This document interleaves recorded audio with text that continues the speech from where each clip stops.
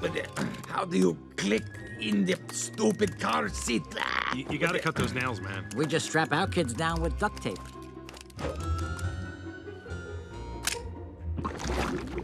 What's he doing here? I told him he could come. He's never been outside the hotel.